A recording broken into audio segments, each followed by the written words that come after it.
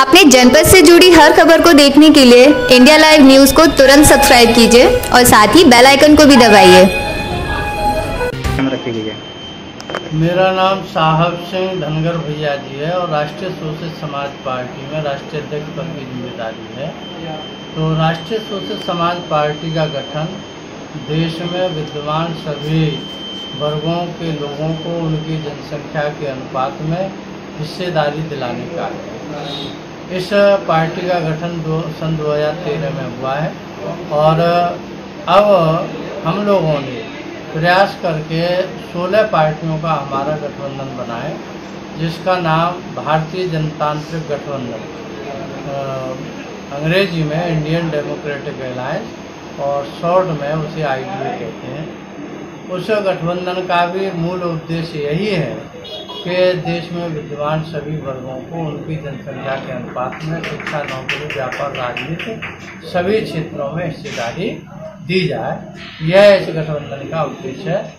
उत्तर प्रदेश में अभी आठ विधानसभा का उपचुनाव होगा और उस उपचुनाव में गठबंधन आठों सीटों पर लड़ेगा। हम राष्ट्रीय शोषित समाज पार्टी की तरफ़ से टूडला विधानसभा क्षेत्र पर श्री विजय सिंह धनगर जी को प्रत्याशी बनाया गया है। और भांगरमऊ विधानसभा पर इंजीनियर राम प्रकाश सिंह पाल, जो राष्ट्रीय शोषित समाज पार्टी के प्रदेश अध्यक्ष ने उनको प्रत्याशी बनाया। गया नगर की समस्या काफ़ी समय से चल रही है और उत्तर प्रदेश में गड़रिया की ही उपजाति धनगर अनुसूचित जाति में है। लेकिन सरकार की गलत नीतियों के कारण धनगर समाज को अनुसूचित जाति का प्रमाण पत्र नहीं दिया जा रहा है।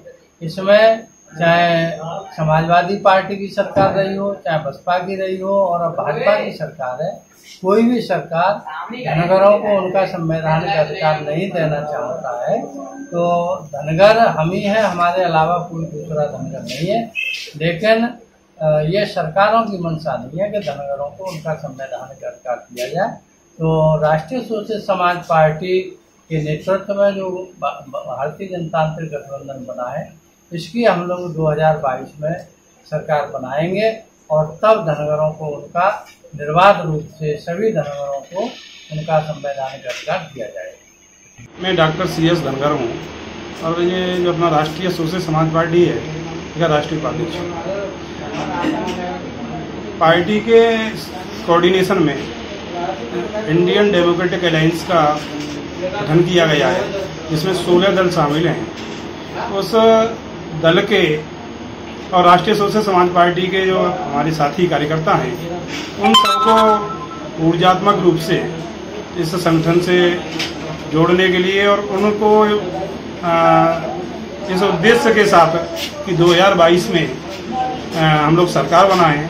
हमारे कार्यकर्ताओं में काफ़ी ऊर्जा है और निश्चित रूप से हम 2022 में उत्तर प्रदेश की सरकार बनाएँगे।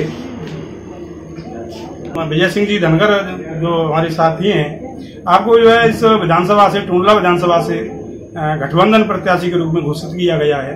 ये भी यहाँ पे ये जानकारी देनी थी, इस उद्देश्य के हिसाब से ये पत्रकार वार्ता बुलाई गई।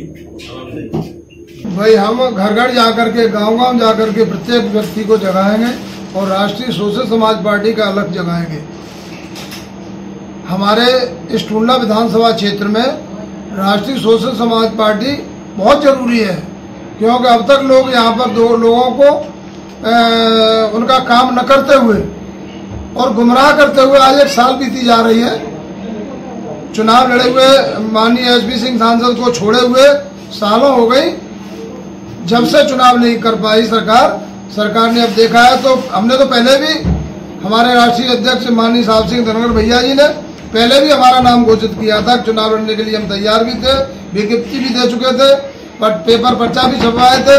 लेकिन आज भी चुनाव होने के बावजूद चुनाव के कारण हमारी पहले से हमारे राष्ट्रीय अध्यक्ष माननीय साहब सिंह धनगर भैया जी ने ए, कर दी है और हम उसके लिए तत्पर हैं। अब सब क्षेत्र में निकलने वाले ही हैं।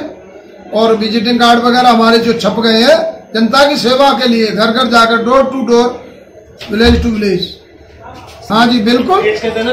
हम धनगर के मुद्दे पर और जनता को लेकर के जगह जगह पर तहसील पे विधानसभा पे लोकसभा पे ब्लॉक स्तर पे गाँव स्तर पे हम मीटिंग करेंगे धरना भी देंगे और सरकार से अपना इसका प्रस्ताव को भी रखेंगे कि हमारा धनगर के सर्टिफिकेटों को बनाया जाए। जिससे अधिक से अधिक संख्या में हम लोग राजनीतिक, शिक्षा, नौकरी, व्यापार, आदि में भागीदारी कर सकें।